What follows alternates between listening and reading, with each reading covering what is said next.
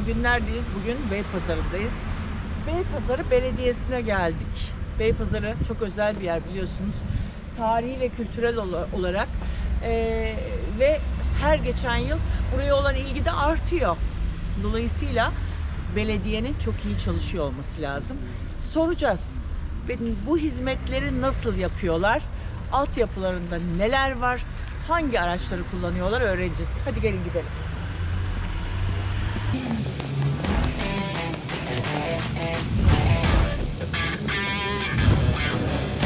Arkadaşlar tekrar merhaba. Evet ne dedik? Bugün Beypazarı'ndayız. Beypazarı Belediyesi'ne gelip Beypazarı Belediyesi yetkililerini sıkıştıracağız dedik. Çünkü bu kadar önemli, bu kadar güzel bir ilçede belediye hizmetleri nasıl veriliyor bakalım? Yeterli hizmet veriliyor mu? Bu hizmeti verebilmek için yeterli araçları var mı? Ee, şu anda temizlik hizmetlerinin garajındayız.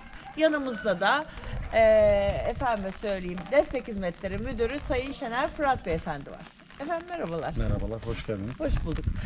Beypazarı çok önemli bir yer diyelim Türkiye açısından. Türkiye'nin tarihi, tarihi ve kültürel yapısı içerisinde önemli bir potansiyel barındıran çok özel bir yer. Ee, ta 1200'lü yıllara kadar uzanan bir tarihsel geçmişe sahip. 2000'li yıllardan itibaren de burada bu hazinenin farkına varıldı ve bir takım restorasyon çalışmaları, özel tanıtım faaliyetleriyle bu güzel ilçe dışarıya açıldı. Neler var içerisinde? Ben şöyle bildiklerimi sö- bir iki bir şey söyleyeyim. Bir kere o meşhur evleri, sokakları, efendim söyleyeyim değişik lezzetleri, tarihsel yapılar. Ee, Beypazarı kurusu diye bir şey var. Ben bayılıyorum bir de tereyağlı. Allah'ım yarabbim ne bir nasıl güzel bir lezzet o. Başka ne var? Beypazarı'nın havucu var. Başka nesi var Beypazarı'nın? Ee, Yeşillik ürün, Yemek içmek için. yemek, e, güveç, Beypazarı güveci, Beypazarı sarması, e, 70 katlı baklavası 70 katlı baklavası. ve höşmer. Höşmerim. Çok güzel. Ee, bunların bu tatları e, yaşamak, tatmak için, bu güzel ilçeyi dolaşmak için yurt içinden, yurt dışından gelen turistler oluyor. Tabii onları çok güzel karşılamak lazım.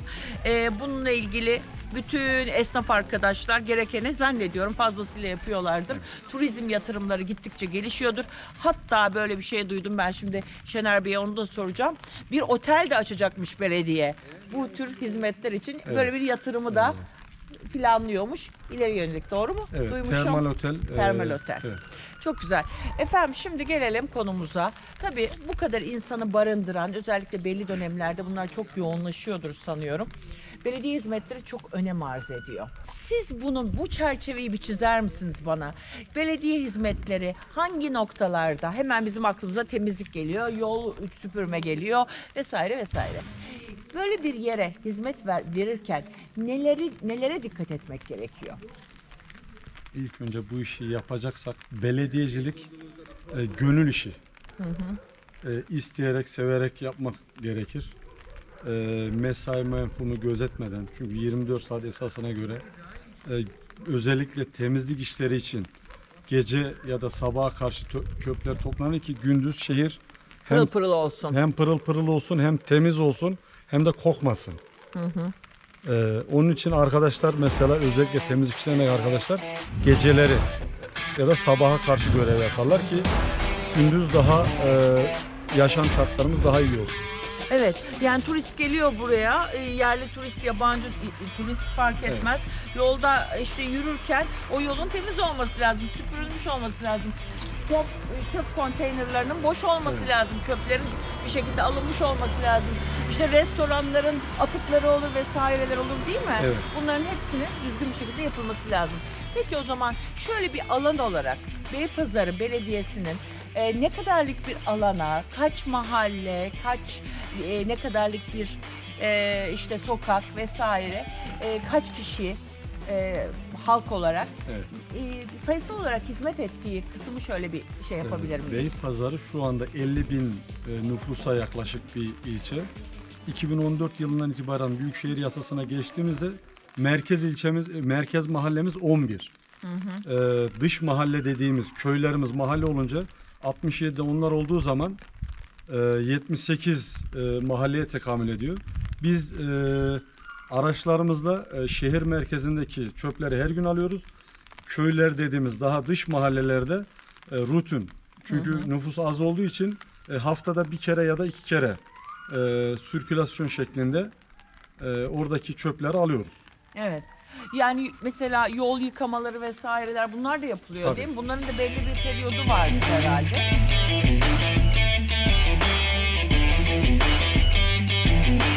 Belli bir çizelgesi var. Bunlar o program çerçevesinde bütün sizin hizmet alanınız içerisindeki her noktaya ulaşabiliyor mu?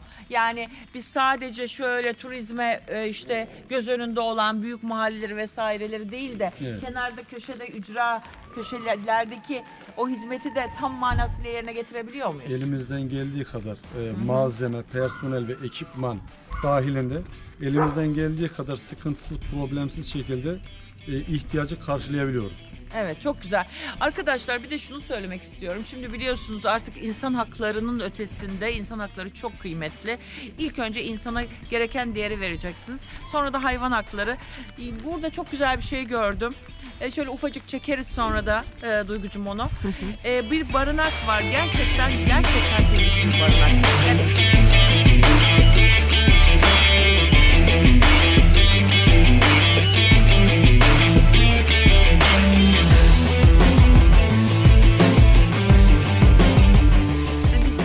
barınak gördük ama gerçekten temiz bir barınak. Oradan alıyorlar sokaklara bırakılmış, sokakta kalmış hayvanları sayın yetkililer. Burada güzelce rehabilite ediyorlar, besliyorlar. Gerekli sağlık desteğini verdikten sonra tekrar eee, kendi şeylerine, sokaklarına diyelim. Doğal yaşam alanı. Doğal, evet bravo. Doğal yaşam alanı, alanına e, onları salıyorlar.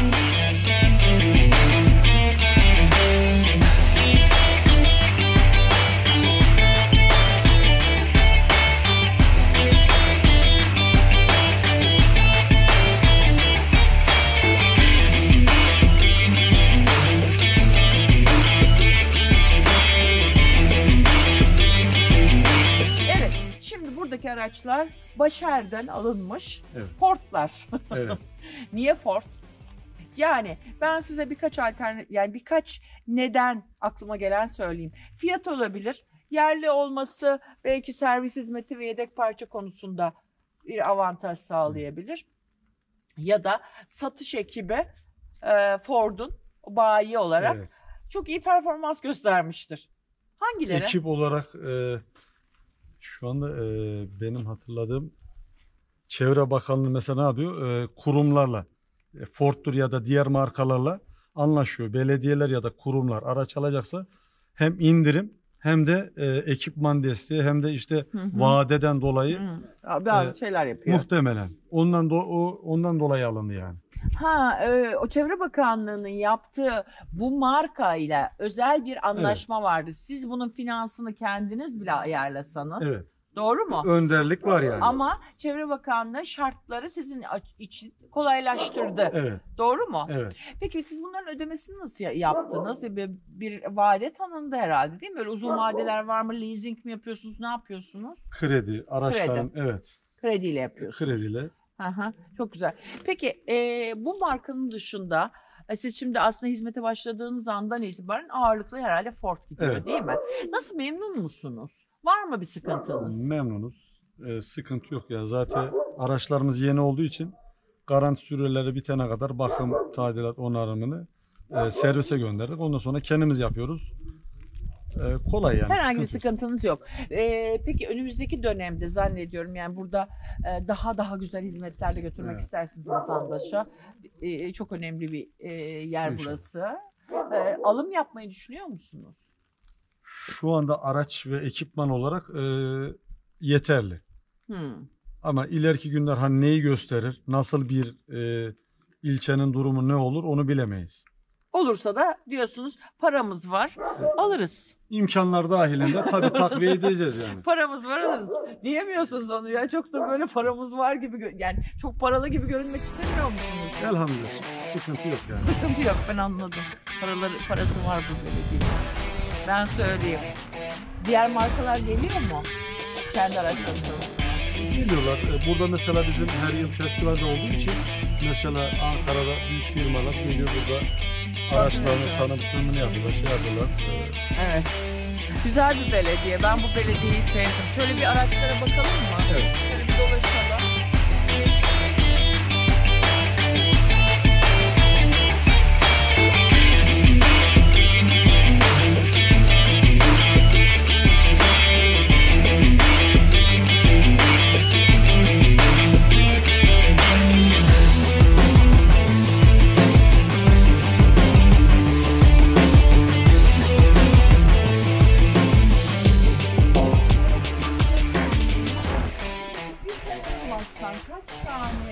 6 tane 6 tane çöp kamyonu. evet, Evet, gelir misin? Burada bir şoför arkadaş yakaladım hemen konuşacağız. Evet, efendim ben Murat Ekcan, Tamam, Mehmet Özdemir Bey. Ee, çöp kamyonu kullanıyorsunuz. kamyonu. Kaç yıldır kullanıyorsunuz? 7 senedir çöp kamyonu kullanıyorsunuz.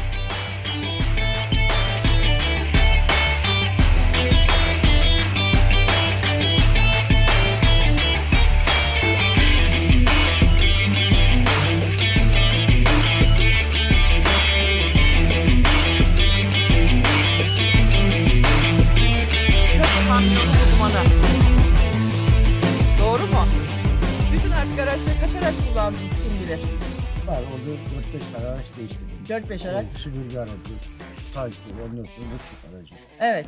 Ee, bunların bir, bir sürü modeli tanıyorsunuz. Bütün araç modelleri, e, şey markaları ve modelleri biliyorsunuz.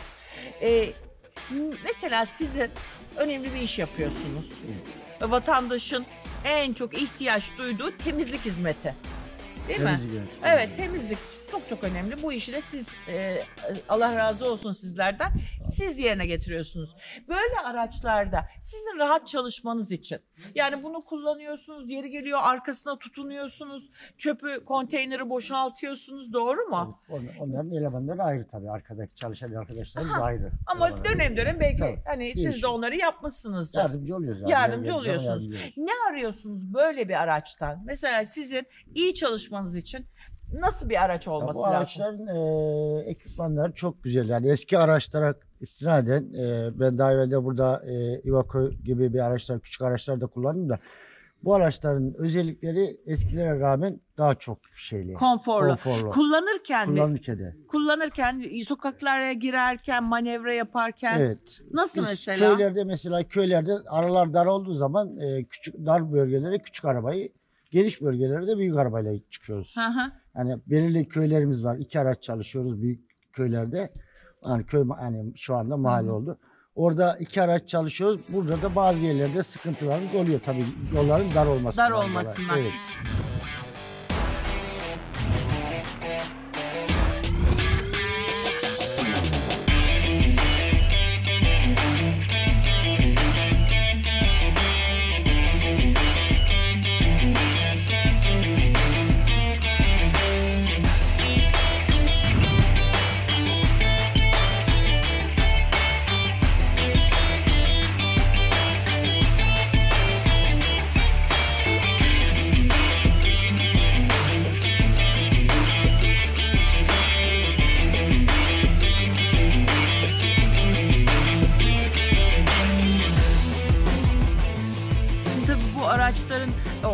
Çok önemli dediğim gibi manevra kabiliyeti. Bir de siz orada kaç saat çalışıyorsunuz mesela? 8, Sekiz saat, saat. Sekiz direksiyon sallıyorsunuz. Oturduğunuz koltuk da rahat olmalı. Arkanıza yaslandığınız zaman böyle değil mi? Nasıl aracın içi nasıl? Ayrıca içi, e, kendimize göre koltukları ayarlayabiliyoruz yani. Koltuğu Rahat ediyor rahat musunuz? edici bir şekilde ayarlıyoruz. Yani koltuklarımız Kullanırken aş- falan? Hayır hepsi çok randımanlı bir şekilde kullanma Kullanabiliyorsunuz. oluyor yani. Çünkü bazı yollar hani e, sizin tabii yollar falan şahane. Hiç, belediye ama karayolları mı bakıyor yollara? Yol, Şu anda karayolları bakıyor Ankara Beypazarı arası. Beypazarı arası. Evet. Beypazarı'nın içindeki yollara kim bakıyor? Büyükşehir. Büyükşehir bakıyor. O zaman sizinle alakalı bir sıkıntı yok. Yani yolların Küçük sokaklar bizim. e, bu yapıyorsunuz. evet Beypazarı Belediyesi. Oralarda var mı böyle çukurlar falan? Biz elimizden geldiği kadar tadilat bakım Şimdi biz yapıyoruz. gideceğiz ama keşfe. Gidelim. Gideceğiz. Gidiyoruz. Gidelim, Gidelim. mi? Gidelim mi? Gidelim. Ben karışmam. Evet. Neyse biz yol, gö- gördük yollarını da gerçekten belediyeye puanımızı verdik. Güzel, güzel gidiyor. Şimdi ama mesela şehir dışına şöyle hani ufak köylerde vesairelerde hizmet verirken e, bazı yollarda şey olur değil mi böyle Tabii. çukurlar var, falan. çukurlar, E, o şeyi süspansiyonları nasıl? Onlar da güzel. Yani Ha, öyle böyle sizi yormuyor değil mi? Yok hayır yormuyor yani. Yor-. Ben e, kesinlikle öyle bir yorgunluk hissetmiyorum yani çalıştığım zaman. Güzel. Bu çok önemli. Hem e, sizi rahat ettirecek Evet. hem de işi güzel yapacak. Ee, Beypazarı Belediyesi'nde çalışmak güzel mi? Çok şahane. Çok şahane. Evet. Beypazarı Belediyesi'nde çalışmak çok şahane. Evet. Bir söyleyin de Evet. başkan duysun bunu. Yani, e, Başkan toplantı varmış toplantı. O başkanların toplantısı da hiç bitmez. Ama benim Ya- için bu beyler daha kıymetli. Sağ ol. Başkanım gelirseniz de kusura bakmayın konuşamayacağım sizinle. Ne be- belediye çal- de çalışmak nasıl? Çok, çok şahane ve mükemmel bir e, Süper. hizmet alanı olduğu için yani biz hizmet verebildiğimiz şekilde memnunuz. İnşallah e, halkımıza bundan memnun kalırlar. Yani. Harikasınız. Harikasınız. Çok memnun oldum. Olun. Allah işinizi Sağ olun, gücünüzü rast getirsin. ederim. Kolay Sağ gelsin. sağ olun. Efendim Sayın Müdürüm var mı eklemek istediğiniz bir şey? Vatandaşa ne söylersiniz? Biz 24 saat vatandaşımızın emrinde ve hizmetindeyiz. Elimizden geldiği kadar e, personel, araç, gereç olarak hazırız. Harikasınız. Peki çok teşekkür ediyorum. Ee, Sayın Şener Fırat'a, Destek Hizmetleri Müdürümüze. Efendim kolay gelsin. Teşekkür ederim. Sağ olun.